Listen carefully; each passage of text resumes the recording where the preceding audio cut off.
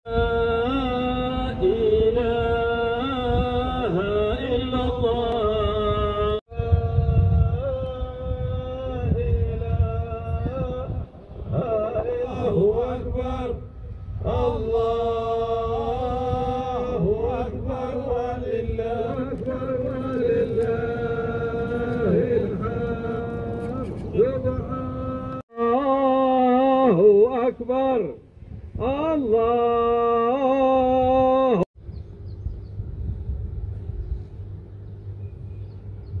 الربا وشهادة زور وأكل مال اليتيم وتطفيف الميزان وتفشت الرشوة أيضا الفرائض وعلموه فإنه نصف العلم وهو يوزع وهو أول شيء يوزع من إخوة الإيمان والإسلام لقد حذرنا المولى جل جلاله قائلا النفس بالنفس والتارك لدينه المفارق للجماعة. حذرا لما به بأس. أقول ما أحوجنا في هذه الأيام إليها والعمل بمقتضاها. فاتقوا الله عباد الله.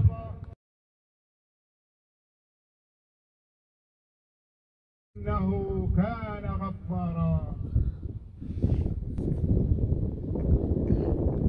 أتقدم بحر التهاني والتبريكات للشعب الليبي بمناسبة عيد الفطر المبارك. أعاده الله علينا وعليكم وعلى الأمة الإسلامية بالخير واليوم المباركات. وكل عام وأنتم بخير.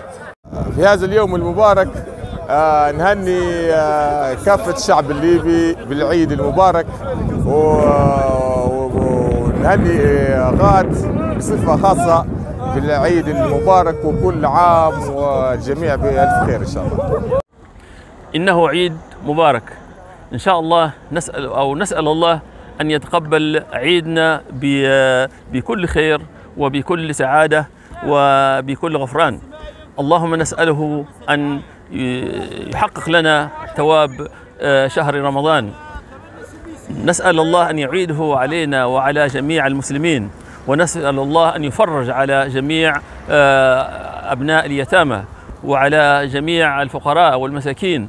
ونسأل الله أيضا أن يفرج على بلادنا جميعا من أقصاها إلى أقصاها. إن شاء الله تكون سنة خير على كافة أهلنا في مناطق آه، ليبيا. وإن شاء الله ربي يلملم شتات الوطن وإن شاء الله يلملم آه، كلمة شبابنا وكلمة أهلنا و- وناسنا على الحق.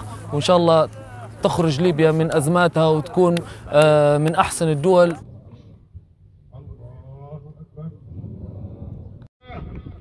وسماع الخطبة. تسلموا على أكبر عدد من أخوانكم المسلمين. كما تبشركم بالخير يقول النبي صلى الله عليه وسلم إذا كان يوم عيد الفطر الدين وناهية عن الفحشاء والمنكر وأدوا الزكاة التي فرضها الله عليكم في أنتم بخير.